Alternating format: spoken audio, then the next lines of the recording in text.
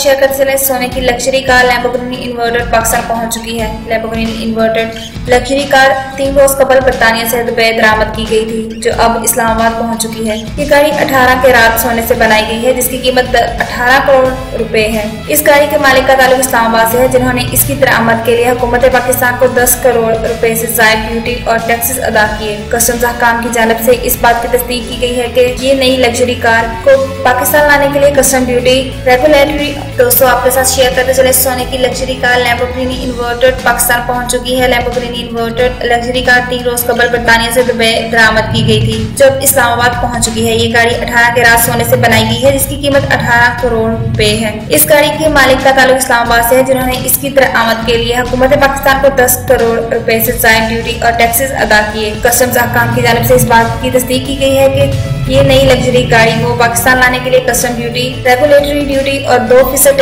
Taxes की अदायगी की गई है। लेबोग्रिनी एस पी एम के एडिशन की पहली झलक 19 दिसंबर 2016 को इटली में दिखाई गई थी, जबकि पहली ऑफिशियल रोनमाई जनवा मोटर में मार्च 2017 में की गई। इस गाड़ी का स्टेयरिंग दाई तरफ़ है, इंजन 730 हॉर्स पावर का है। इसके फ्रंट ब्रेक्स 400 एम और बैक ब्रेक्स 380 एम के हैं। दोस्तों मजीद न्यूज़ और अपडेट्स के लिए सब्सक्राइब कीजिए यूट्यूब पर मौजूद हमारे चैनल ट्रेनिंग स्टोरीज को और साथ ही साथ बेलाइकन पर भी क्लिक कीजिए।